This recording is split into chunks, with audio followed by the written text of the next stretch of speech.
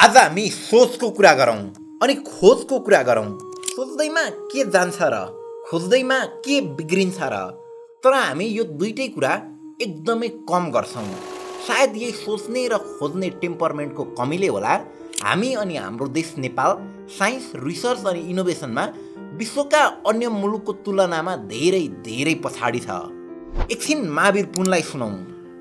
तर कुनै पनि योजनामा अहिलेसम्म बनेको रोड म्यापमा रिसर्च एन्ड इनोभेसनलाई प्राथमिकतामा राखेर देशको अर्थतन्त्र यसरी सुधार्न सकिन्छ भन्ने किसिमको रोड म्याप छँदै छैन। उनको निरन्तर प्रोटेस्ट र पुसको फलस्वरूप ज्येष्ठ पन्ध्रमा जारी गरिएको यसपालिको बजेटमा नेपाली सरकारले पहिलोपल्ट टोटल बजेटको one percentage budget science technology innovation अनि रिसर्च र डेभलपमेन्टमा छुट्याएको छ। वान पर्सेन्ट कुनै ठुलो पर्सेन्ट त होइन। Well something is better than nothing हजुरहरू सोच्दै हुनुहुन्छ होला आज अचानक इन्डेप्थ स्टोरीले यो कुरालाई किन हाइलाइट गर्दैछ त? जुन देशमा साइन्स इनोभेसन अनि रिसर्च जस्ता अति नै जरुरी अनि महत्त्वपूर्ण इनिसिएटिभको लागि बजेट छुट्याइँदैन महावीर जस्ता व्यक्तिहरू सडकसम्म धकेलिन बाध्य हुन्छन्। यो जुन आन्दोलनको जुन मुख्य उद्देश्य छ यो सरकारलाई धकझकाउनको लागि मात्र होइन।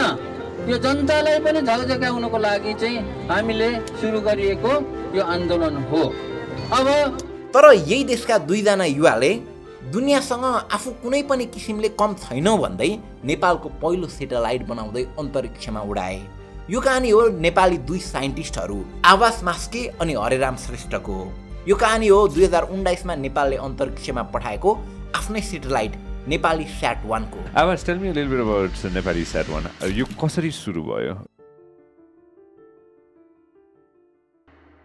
दुई हजार उन्नाइस अप्रिलमा नेपालको पहिलो सेटेलाइट नेपाली स्याट वान युएसएको भर्जिनिया स्टेटबाट लन्च भएको थियो Five, four, three, two, one. And we have engine ignition. यो सेटेलाइट बर्ड्स थ्री अन्तर्गतको प्रोजेक्ट थियो जसमा श्रीलङ्काको पनि पहिलो सेटेलाइट रावण लन्च गरिएको थियो भने जापानको उसुइगु सेटेलाइट पनि लन्च भएको थियो जब आवास मास्के मास्टर्स सकि पिएचडी प्रोग्रामको लागि अप्लाई गर्दै थिए तब उनले बर्ड्स प्रोग्रामको बारेमा सुने जुन जापानको काइसु इन्स्टिट्युट अफ टेक्नोलोजीमा इम्प्लिमेन्ट भइरहेको थियो। त्यो बेला बर्ड्स वान प्रोग्राम अन्तर्गत मङ्गोलिया बङ्गलादेश साथै अन्य केही देशहरूले पहिलोचोटि सेटेलाइट निर्माण गरी अन्तरिक्षमा पठाउने काम गरिरहेका थिए। त्यस्तै भुटानले पनि बर्ड्स टू प्रोग्राम अन्तर्गत सोही काम सुरु गर्न थालेपछि आवासका प्रोफेसरले भने वाइ नट फर नेपाल नेपालको लागि चाहिँ सम्भव छैन त भन्ने कुरा निकालेपछि यो जोर्नीको सुरुवात भएको थियो।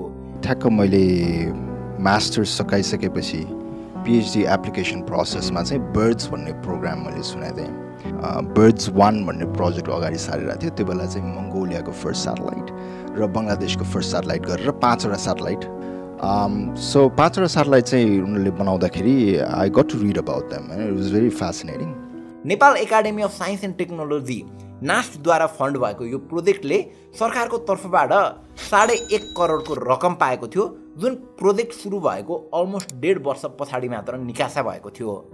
अब नेपालमा यो ढिला सुस्ती नौलो कुरा त पक्कै पनि होइन र यो प्रोजेक्टको दौरानमा तिनवटा सरकार पनि फेरिएको थियो जुन पनि अगेन नौलो कुरा त पक्कै पनि होइन।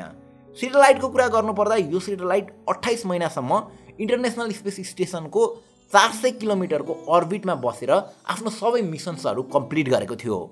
वेल उक्त सेटेलाइटले के के मिसन्सहरू कम्प्लिट गर्यो त त्यो पनि हेरिहालौँ। त्यो सेटेलाइटको उडानले नेपालमा रिमोट सेन्सिङको सम्भावना ओपन अप भयो। रिमोट सेन्सिङ भन्नाले टाढाको डिस्टेन्सबाट इन्फर्मेसन लिन सक्ने क्षमता हो भनेर बुझ्दा हुन्छ। नेपाली स्याट वानले फाइभ मेगा पिक्सलको क्यामेराबाट एक सय पचास प्लस बढी पिक्चर्सहरू क्याप्चर गरेको थियो। लेम्यान भाषामा सबैले बुझ्ने गरी भन्नुपर्दा त्यसरी लिएको पिक्चर्सबाट कुनै पनि एरियाको बारेमा माइनट लेभलमा रिसर्च गर्न मिल्छ। बादलहरूको मुभमेन्टदेखि ओसन्सहरूको वेबको डेटाहरूलाई केलाएर वेदरहरू फोकास्ट गर्न सक्नेदेखि लिएर विभिन्न अनडिस्कभर्ड एरियाहरूको टेरेस अनि म्यापिङ गर्न मिल्छ। यसरी एउटा फर्मल स्पेस एरियामा नेपाल इन्टर गर्दै थियो अनि उक्त एक सेटेलाइटले विशाल सम्भावनाहरूको बाटो खोलिदिएको थियो। साथै इन्टरनेसनल मोस्टकोडको थ्रुबाट सेटेलाइटमा एसएमएस टेस्टिङ पनि भयो र सो ट्रान्समिसन चाहिँ कुनै पनि रेडियोले फ्रिक्वेन्सी म्याच भएपछि पिक गर्न सक्ने देखिए पछाडि अन्तरिक्ष लोरा यानि कि लङ रेन्ज कम्युनिकेसन पनि पोसिबल हुने रहेछ भनेर यो प्रोजेक्टले प्रुफ गरिदियो। अब यो कुरालाई पनि सरल रूपमा एक्सप्लेन गर्नुपर्दा लोराको लार्जर एप्लिकेसन चाहिँ कुनै प्राकृतिक प्रकोप अनि त्यस्तै केही डिजास्टर भएको बेलामा अन्य कम्युनिकेसनहरू पोसिबल नहुँदा लोराबाट पार्सल कम्युनिकेसन रन गर्न सक्ने सम्भावना हो। त्यही देखिएको हो। यसरी यो प्रोजेक्टले भव्य सफलता पायो तर आवाज त्यतिमै रोकिएनन्। उनले अन्तरिक्ष प्रतिष्ठान नेपालको थालनी गरे। अन्तरिक्ष प्रतिष्ठान नेपाल एउटा नन प्रफिट अर्गनाइजेसन हो जसले अन्तरिक्ष जति नै विशाल उद्देश्य बोकेको छ। नेपालको स्पेस एजलाई विकास अनि निरन्तरता दिने हेतुका साथ सुरु भएको यो अर्गनाइजेसनको फ्ल्यागसिप प्रोजेक्ट छ प्रोजेक्ट डाफे अनि प्रोजेक्ट मुनाल डाफे अन्तरिक्ष प्रतिष्ठान नेपालकै खोजकर्ताहरूको क्रिएसन हो भने मुनाल चाहिँ उनीहरूबाट मेन्टर्ड भएका हाई स्कुल लेभलका विद्यार्थीहरूको क्रिएसन हो। प्रोजेक्ट मुनाल पनि एउटा सेटेलाइट नै हो जसको आकार र बनावट नेपाली स्याट वान जस्तै भए पनि यसको रिसर्च अनि डेभलपमेन्ट सबै इन हाउस नेपालमै नेपालकै स्पेस इन्जिनियरहरूले बनाइरहेका छन्। धेरै टेक्निकल कुरामा नगइकन सहज रूपमा भन्नुपर्दा Munal satellite system wise Nepali sat वानको तुलनामा निकै एडभान्स्ड अनि इम्प्रुभ रहेको मानिन्छ। नेपाली स्याट वान स्पेसको अर्बिटमा अठाइस महिनासम्म राखिएर डि अर्बिट भएको थियो भने डाफे र मुनाललाई अझै धेरै टाइमसम्म राखिने कुरा छ।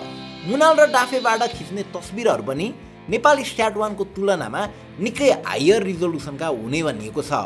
डाफेमा त अझ क्लाइमेट मोनिटरिङ कम्पोनेन्ट पनि एड गरिएको कारणले यसले क्लाइमेट चेन्जेसका कुराहरूलाई पनि ट्र्याकिङ गर्दै बाढी पहिरो र हिमताल फुट्ने जस्ता विनाशकारी प्राकृतिक प्रकोपहरूको पूर्व अनुमानलाई सहयोग हुने डेटा अनि इन्फर्मेसन पनि प्रदान गर्छ भन्ने भनिएको छ। यी सेटेलाइट्सहरू टेक्निकली एडभान्स त छँदैछन् तर टेक्निकल हुनुको साथसाथै सिम्बोलिक पनि छन्। डाफे नेपालको राष्ट्रिय चरा हो भने डाफेको कजन हो मुनाल। र यिनै डाफे र मुनाल अन्तरिक्षमा पठाउँदा यसमा अडियो भिजुअल मेटेरियलहरू पनि एड गरिएको छ जसले अन्तरिक्षमा नेपालको कला संस्कृति सङ्गीत र इतिहासलाई गुन्जाउनेछ। दैलेख दुल्लु घुम्न जाउँ यसपाला दैलेख दुल्लु घुम्न जाउँ यसपाला दुई हजार बाइसमा लन्च गर्ने भनिएको यो प्रोजेक्टको डेट अहिले सर्दै सर्दै अप्रेल दुई हजार तेइसमा हुने भनिएको छ। सायद छिट्टै नै हुने तर्खरमा छ होला। आशा गरौँ डाँफे अनि मुनाल छिट्टै लन्च हुन्छन्।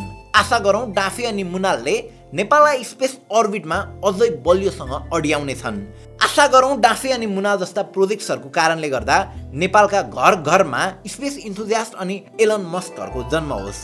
आशा गरौँ अन्तरिक्ष प्रतिष्ठान नेपालको कत कुनै दिन आइएसआरओ अनि नासा जत्रो होस्। डाँफे अनि मुनाललाई इन्डेफ स्टोरीको तर्फबाट शुभकामना। हामीले हरेक दिन किन चाहिँ नेपालमा भइरहेका पोलिटिकल खिचातानीहरू मात्र नराम्रा कुराहरू मात्र देखाउने भनेर यो भइरहेको प्रगति आज तपाईँहरूलाई देखायौँ। तपाईँहरूलाई कस्तो लाग्यो त? प्रतिक्रिया दिन नभुल्नुहोला। हस्त। Thank you for watching